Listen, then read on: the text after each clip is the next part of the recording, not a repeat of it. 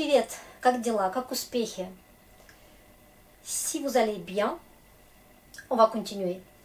La tempête dans notre jardin linguistique continue, le vent souffle, et cette fois-ci, on va voir un cas qui est très très utile pour construire les phrases, mais c'est pas un cas qui va par l'ordre chronologique, l'ordre qu'on a présenté euh, récemment. donc, on va prendre un cas qui s'appelle locatif. Pourquoi on va passer tout de suite à la fin? Parce que c'est le dernier cas. Parce que il est assez facile, encore une fois, facilité est relative, mais quand même, il a un plus, et ce plus que au locatif, les mots féminins, neutres et masculins, ils vont prendre une terminaison, la même pour tout le monde. Et ça, c'est très sympa parce que après, on va avoir toujours deux grilles. Pour ce cas-là, c'est une seule pour tout le monde.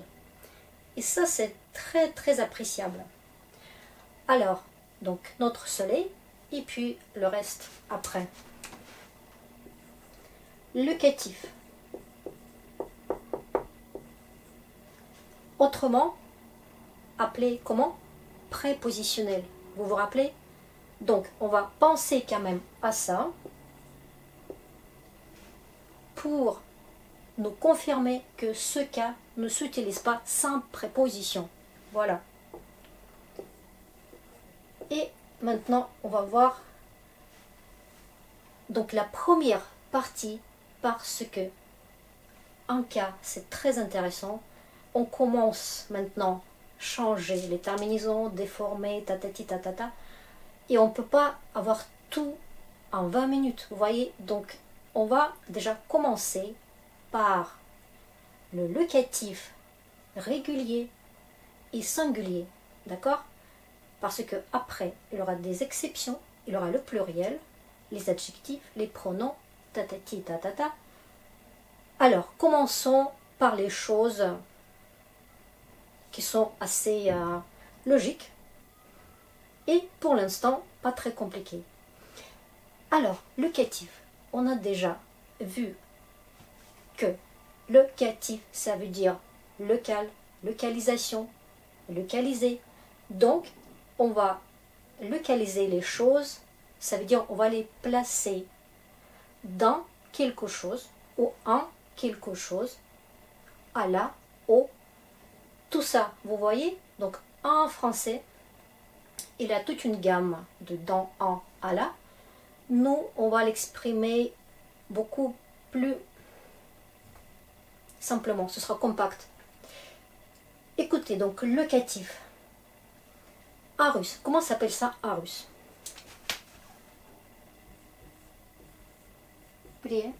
de,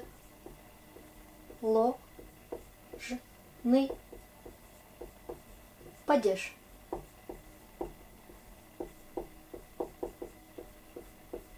Le mot предложный, ça vient du mot prédloc, ça veut dire la préposition. Et voilà, ça justifie ce P que vous voyez ici. Donc locatif, c'est déjà quelque chose inventé par, par les profs français, peut-être. Voilà. Donc, предлог. On va prendre une autre couleur pour vous baser déjà sur quelque chose. Le mot-clé.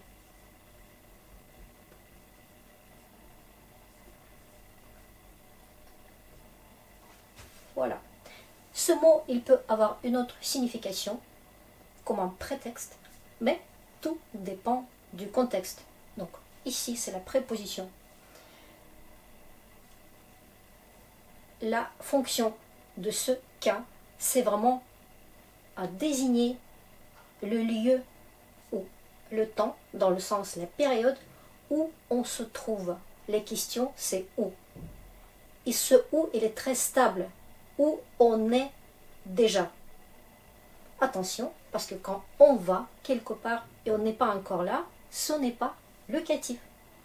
On n'est pas encore arrivé. D'accord? Donc, au locatif, on est déjà arrivé et on reste. On est stable, on ne bouge pas. Très important pour ne pas confondre avec l'accusatif après. Où on est. Alors,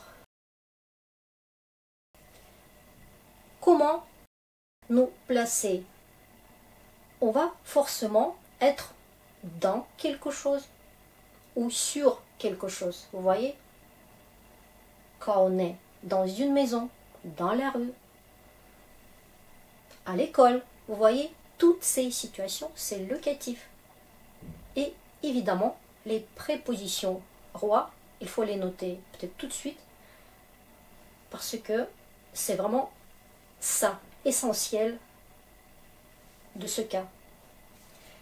Et donc, on va dire que ce sont les prépositions va et na. Et on va aller voir donc avec les exemples un peu plus tard. En sachant que va, ça peut prendre une forme vo. Pour beaucoup de prépositions qui sont faites d'une lettre, d'une consonne, pour la mettre avec un mot qui commence aussi par deux, trois consonnes, c'est difficile à prononcer. Du coup, on met de l'eau. Donc, on met un petit peu d'espace. D'accord? Mais c'est vraiment la même chose. Égal. Allez.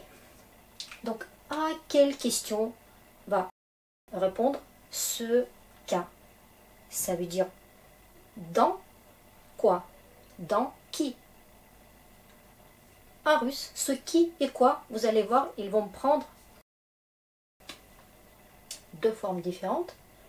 Donc, comme, c'est drôle, là, hein? à la base c'est kto, et maintenant ça devient comme. Et что, il va prendre la forme chom. Évidemment, comme et chom ne s'utilisent pas tout seul. Donc, ces prépositions-là, et puis je vais vous dire encore les prépositions qui ne sont pas très très logiques. Vous vous souvenez qu'il a un sens logique et un sens un peu abstrait. Donc voilà, c'est vraiment nécessaire. L'un ou l'autre, l'une ou l'autre. Et vraiment, attention à ça. Tout seul, comme ça, tout nu, ça n'existe pas. Maintenant, je voudrais aussi vous dire tout de suite les formes des pronoms personnels. C'est peut-être trop vite, mais je tiens à ça parce que c'est vraiment nécessaire, on va s'en servir. Et pour les autres cas, je vais aussi vous donner tout de suite les formes des pronoms personnels, ya, te, on, etc. Pour déjà sentir ce mouvement, ce changement des choses. D'accord? Donc on va les noter ici. Regardez par exemple, ya va se transformer en мне.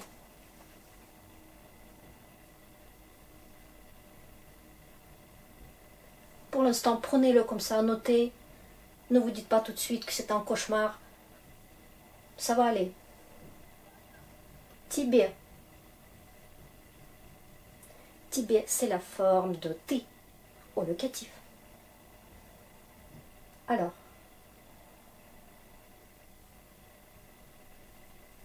regardez, ça c'est on à la base, mais regardez un phénomène aussi. Quand on a une préposition devant les pronoms personnels déjà déclinés on, ana, anan, ani, on est obligé de mettre un petit n ici. Donc, au locatif, ça prend ce forme-là obligatoire parce qu'il y a des prépositions. Maintenant, Anna, elle,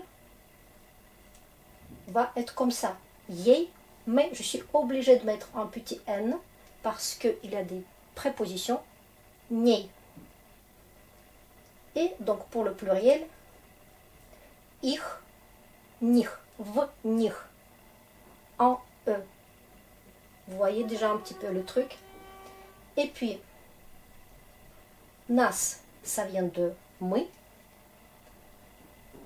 vas. Ça vient de v. Ok V, nas, na, vas. Voilà.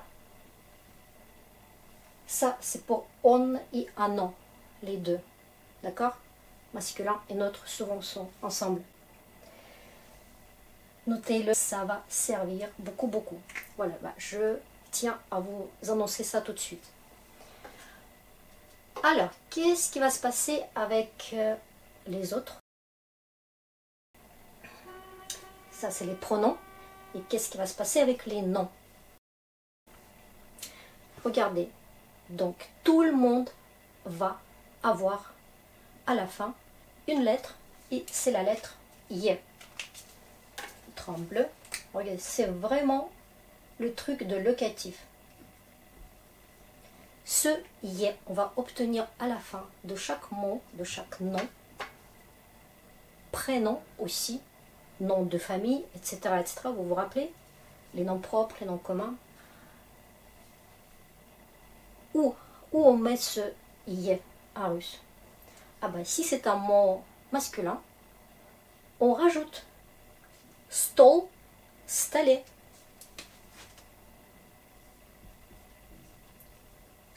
Normal, nominatif, vous vous rappelez? Stalé. Et évidemment avec une préposition na stallé sur la table. Donc na c'est sur, v c'est dans, en, à la, au, toute cette gamme. Dedans, ok? Et ça c'est sur. N'installer sur la table. Si c'est un mot féminin, notre fameux livre, Kniga, normalement kniga. Nominatif. Je ne peux plus. Garder a. C'est fini, on décline. On se débarrasse des terminaisons de base, de nominatif. V knige, dans un livre. Ça peut exister comme situation parce que les situations, elles peuvent être concrètes, ça veut dire dans un objet, sur un objet, une chose, mais aussi ça peut être une personne. Ça, c'est assez concret. Mais par exemple, en termes ou en sentiment, c'est assez abstrait, mais ça peut exister aussi. Vous voyez?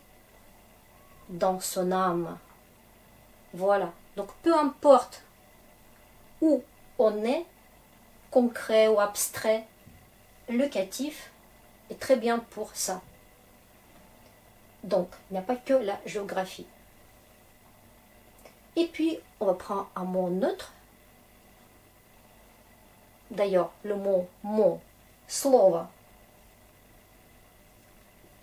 Par exemple, il y a donc O, normalement c'est ça. Il y a des lettres dans un mot. Dans un mot locatif. Slo, vient. Voilà, c'est ça ce qui se passe. Vous voyez, donc masculin, féminin ou neutre, on s'en fout. À la fin, il faut qu'on obtienne yeah.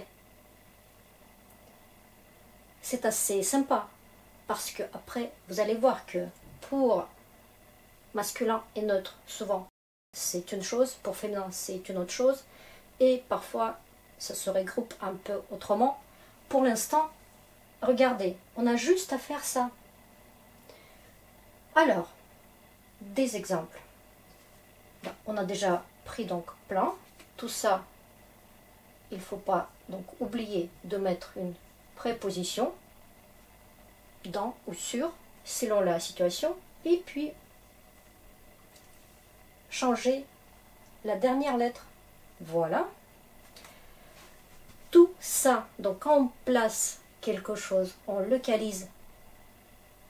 C'est quoi? C'est vraiment un complément de lieu. Complément circonstanciel de lieu. Vous êtes vraiment à l'aise au penser au lieu. Et lieu, ça peut être, regardez, euh, table, livre, mot, ça peut être un sac. Sumke, ça va être un peu compliqué pour vous à partir de locatif. Devinez qu'est-ce que c'était à la base? Masculin, féminin, une autre? Parce que tout, tout ça, c'est yé. Et donc, revenir en arrière, c'est un peu compliqué parfois. Par exemple, c'est quoi à la base? Sumka, c'est féminin. Chez nous, le sac, c'est sumka. Mais qu'est-ce qu'on sait en enlevant le yé Voilà. Donc, le nominatif, c'est quand même très pratique à connaître nominatif à la base. Super bien. Voilà. Donc tout ça, on va dire que c'est notre complément de lieu. Est-ce qu'il y a d'autres choses à exprimer? Si c'est pas le lieu Et pourtant, le catif, on pense que c'est vraiment lieu, lieu, lieu. Avec le locatif, on peut aussi se placer, entre guillemets, dans le temps, dans une période, dans une semaine, dans un jour, dans une heure. Vous voyez le truc? C'est assez abstrait aussi, c'est pas physique, géographique, mais on est dedans. Donc, ça peut aussi avoir cette forme-là, complément circonstanciel de temps. Donc les deux. Exemple, euh, tous les mois, tous les mois en russe, euh, les mots se ressemblent beaucoup au niveau de, du son au nom des mois en français. Donc je vais vous donner un exemple. V mai. Mai, c'est le mois de mai. Ça ressemble? Bah oui. Et regardez, mai, ça se termine avec un i court. Et je me suis débarrassée de i court. Et j'ai gardé y. Parce que tout ce qui n'est pas une consonne, ça se débarrasse. A pour féminin, O pour neutre, O, Y, A, Ya, et puis I courte et le signe mot aussi. Bien, donc tous les mois, tous les 12 mois, ça va faire pareil, au mois de juin. D'accord? Vous voyez le truc? Voilà. Maintenant, on prend par exemple une semaine. Mais pour les périodes, parfois, le na, qu'on pense maintenant que c'est sûr, et dans la majorité des cas c'est sûr, mais ça peut aussi prendre un rôle de en, dans, dans la semaine. Na, ni, die, les. Vous vous rappelez Ni, die, la, c'est la semaine. Na, ni, die, les. Avec ce na, parfois aussi on prend des lieux, des endroits euh, géographiques. Et ce que, par exemple, vous en français, vous le sentez comme dans ou en, à la, au, etc. Nous, on l'exprime avec ce na. Et pourtant, ça ne veut pas dire sur. Il a une petite liste des mots qui vraiment qui ont envie de dire na. Par exemple, na pochete, à la poste. On a l'impression que c'est sur la poste, mais bon, ça n'a pas de sens. Comment on peut être sur la poste? Et regardez, dans quelques, quelques mots comme ça, je vais vous donner pour servir déjà, maintenant, parce qu'il n'y a pas quand même euh, des milliers, quoi. Na почте à la poste. На вокзале à la gare.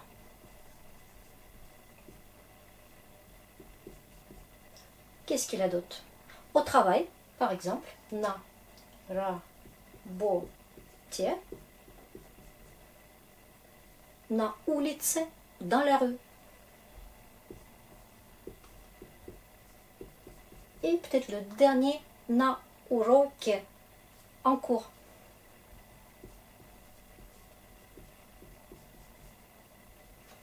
Voilà, donc tout ça, c'est avec na, mais dans le sens dans, en, à la, au. Super. Donc, yé, yé, yé, yé, yé. Partout, yé, yé, yé. C'est très, très sympa. Maintenant, vous pouvez transformer n'importe quel mot et vous êtes déjà là. V, dormir à la maison. Partout, partout.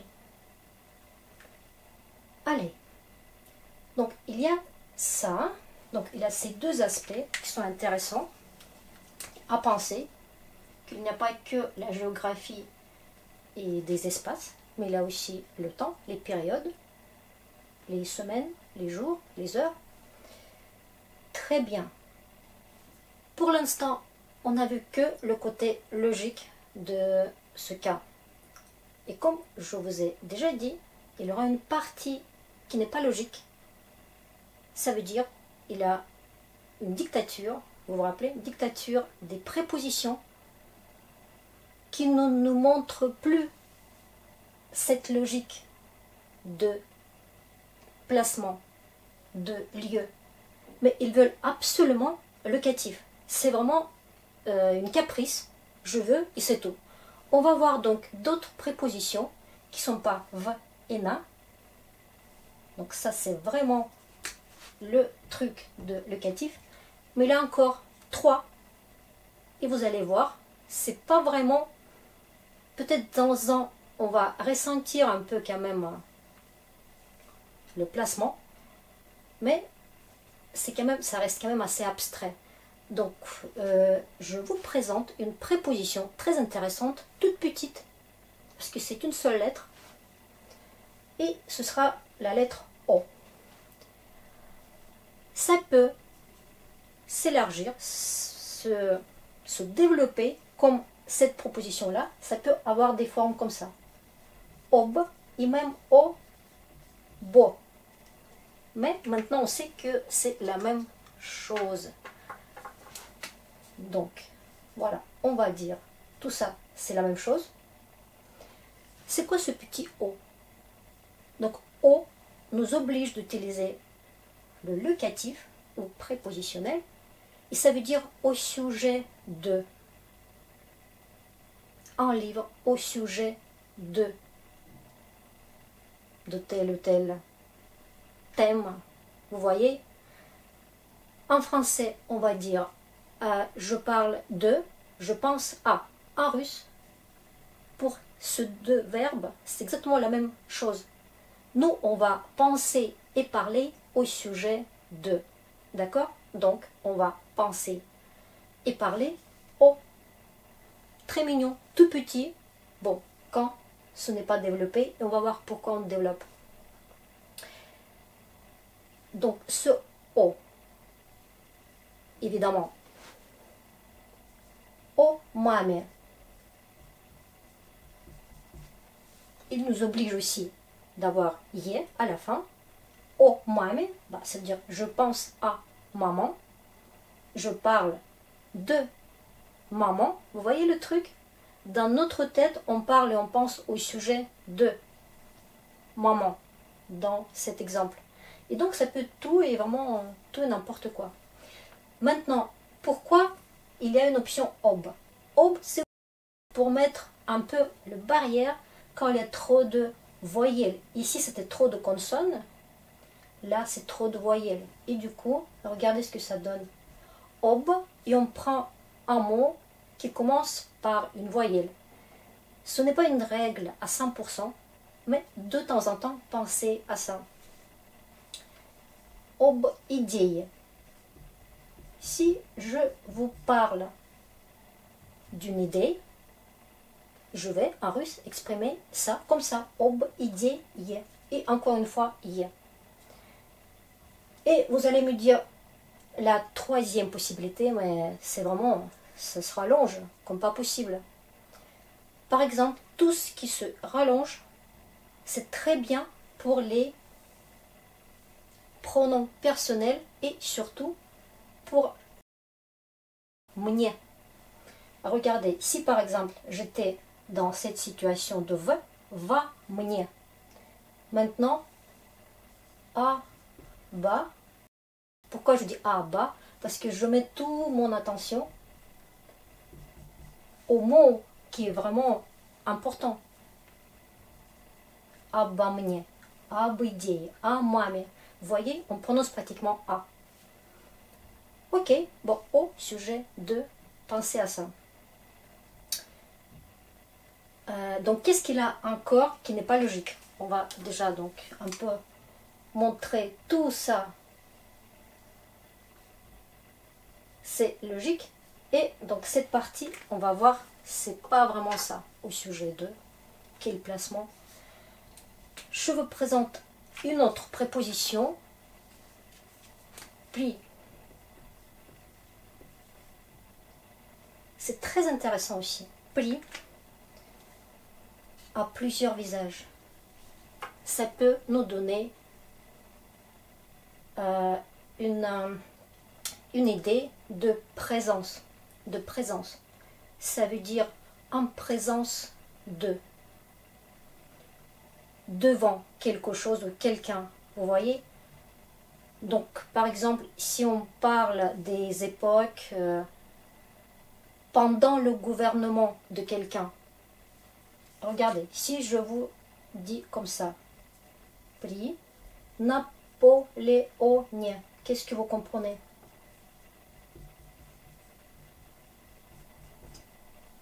C'est votre Napoléon. Et pendant son gouvernement, à l'époque de Napoléon, à l'époque de... Vous voyez, on va assez loin. C'est ça, c'est ce petit mot. Donc ici, ça peut être un nom propre dans chef d'État ou je sais pas quoi. Ça peut aussi être euh, communisme, prix communisme à l'époque de communisme ou je sais pas quel, régime. Voilà. Mais toujours y est. Maintenant, prix, ça peut avoir euh, toujours en présence de, mais c'est un peu quand on dit à ma présence. Par exemple, si quelqu'un fait quelque chose à ma présence, il va le faire prix, mounia.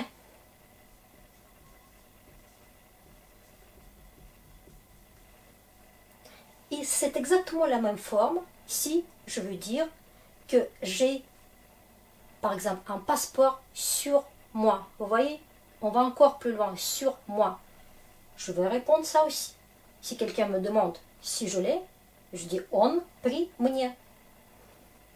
Donc, vous voyez, il y a toute une gamme de, euh, de cette préposition, donc très intéressante. Ok, toujours yé, yé, yé. On ne change pas pour l'instant. Les exceptions et les euh, pluriels et surtout les adjectifs et les pronoms, c'est après.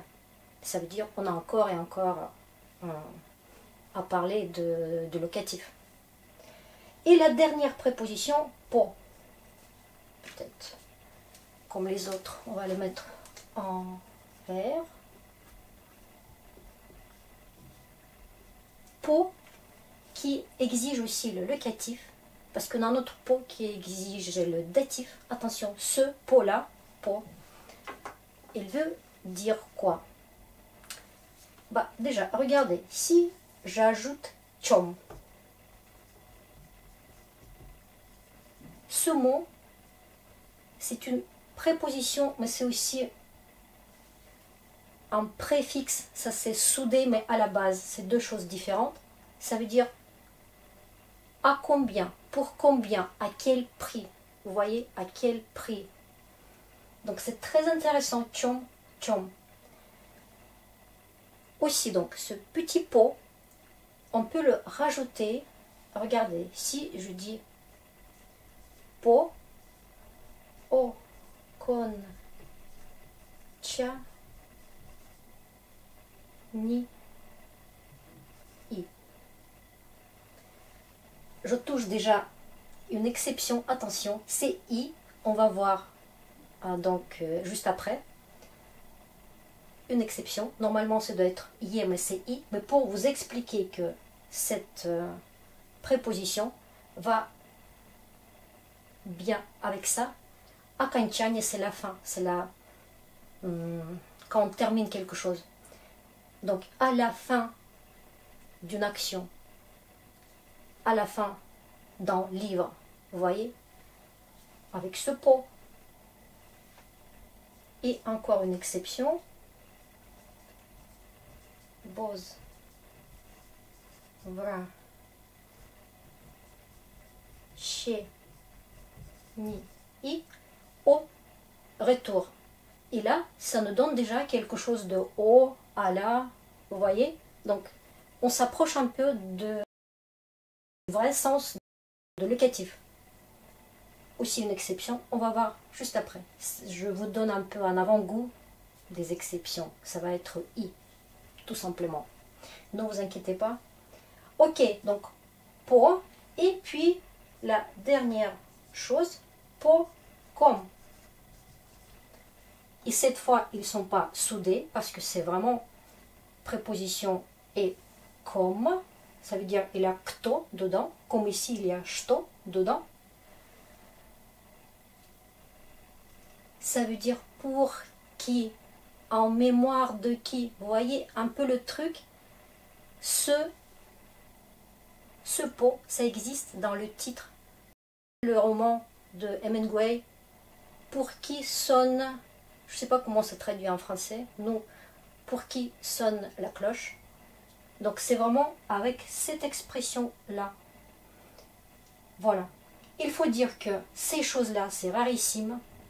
On ne l'utilise pas tout le temps, tout le temps, partout. Par contre, ça, c'est vraiment tous les jours, mille fois par jour. D'accord? Et ça aussi. Donc, les plus utilisés, c'est ça. Et puis, v, ina. Cette énigme, pourquoi na se transforme en V, on peut dire qu'il est clairement égal de V dans cette situation. On n'a pas encore résolu ce problème. Il n'y a pas un qui a prouvé à 100% qu'on utilise ça dans ces situations et pas dans les autres. Chaque fois, il y a des exceptions, chaque fois, ça se mélange, chaque fois, c'est pas logique. Donc, à retenir. Voilà. На сегодня Это все. Желаю успехов. Пока.